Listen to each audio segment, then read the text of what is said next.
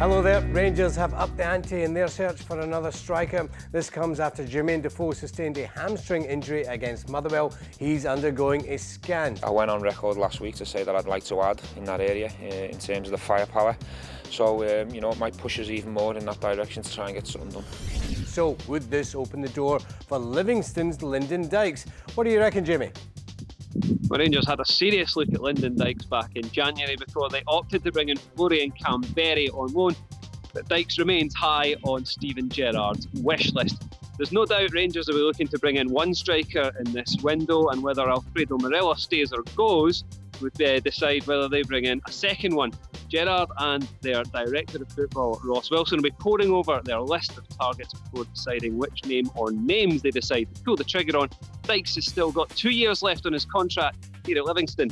He's a Livy player, he loves playing for the club, and uh, we'll see how long that continues. Right, so he's still got a couple of years on his contract, Aye. doesn't he? Aye, that's it. And he, he loves being here. He loves playing football and he loves coming in every day.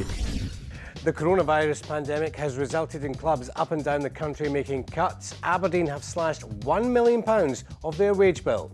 We've gone about a collaboration process in the last few weeks. We've taken our time, everyone's input, shared where we are with the club and how we get out of this and what our assumptions are.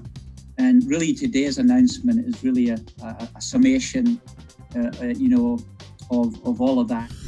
David Law is striking the ball well at the British Masters. He followed yesterday's 7 under par round of 64 with a 69 today to go 9 under par. As elite athletes got the green light to get back in the pool, Hannah Miley is upbeat ahead of next year's rescheduled Olympics we have been given an opportunity for another 12 months to get prepared.